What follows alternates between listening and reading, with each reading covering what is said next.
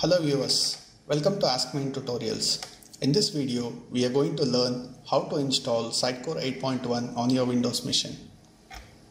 Before we begin the installation part, let's take a look at some of the prerequisites. So the first thing you, you would require is IIS 7.0 or above which needs to be installed on your machine. The second thing would be you should at least have .NET Framework 4.1 or above installed on your machine. Sitecore 8.1 is compiled in .NET Framework 4.1. So if you have a version which is lesser than 4.5, then your Sitecore will not work properly. Coming to the operating system part, you should at least require Windows 7 with Service Pack 1 installed on your machine. If you are going to install Sitecore on your server edition, then you should at least have Windows Server 2008 or above. Coming to the MS SQL part, you should at least have MS SQL Server 2008 R2 and above. Sitecore also requires MongoDB from 8.1. In order for PowerShell to work properly, you should have a MongoDB 2.6.5 at least the minimum version. Last but not least is you should at least have a modern browser which is IE 9 plus or Firefox 17 plus or Chrome 25 and above in order for Sitecore to work properly. So if you have all these prerequisites then you are good for installing the Sitecore. What about the hardware requirements now? Let's take a look at hardware requirements very quickly. The minimum configuration which is recommended by Sitecore if you are running on a single computer is 4 core processor with 8 GB of RAM. However, the recommended configuration is 16 GB of RAM from Sitecore itself. Coming to the installation part, I'm going to install Sitecore 8.1 here and you should have a valid license in order for Sitecore to work properly. Let's begin the process. Click on the exe package. This will bring up a setup wizard. Click on next.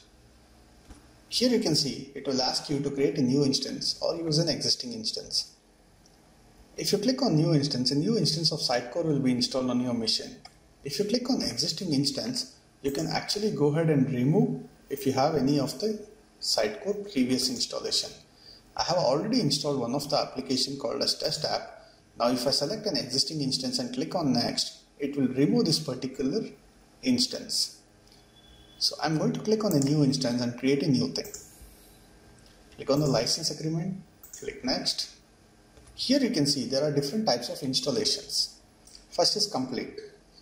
As you can see, a complete installation is nothing but it will install the Sitecore client as well as the databases on the same machine. If you select database only, this will just install the databases. Usually this will be installed only on the database servers. And there is the last option called as client only. If you select client only, only the Sitecore website will be installed on your machines. This is actually suitable for installing this on the servers. Since I am installing in my local machine, I am going to select a complete installation and then I am going to click on proceed. Here it will ask you the instance name. This is nothing but an application name itself.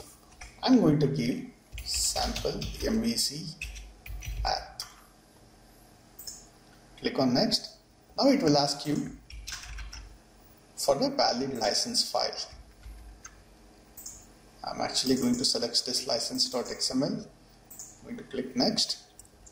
Now the part comes where you have to select the database.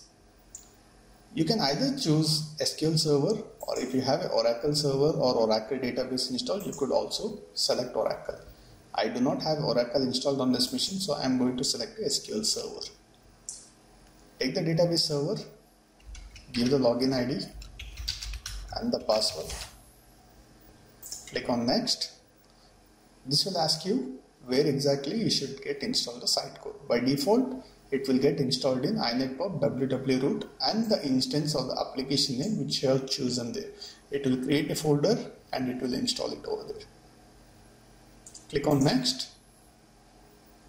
It will also ask you the website name. You can give the same thing. Click on install. So this will take a minute. We'll come back once the installation is completed. As you can see, the Sitecore installation has completed.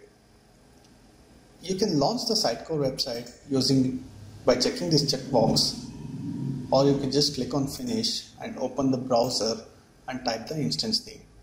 Remember we had given as sample MVC app. This was the instance we had given. Hit sitecore slash login after that and click on enter. If your installation is success, then you should get this login screen where you can enter your username and password. The default username will be admin and the password is B in small case. Hit on login. You should get the Sitecore Experience Editor mode on the next screen.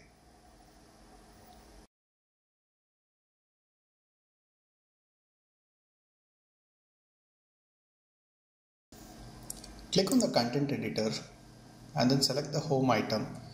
Go to publish, click on the experience editor. This will bring up a editing mode of the home page. You can go ahead and change anything. I'll make this as add tutorial. I'm going to save this. Come back to content editor. I'm going to publish this item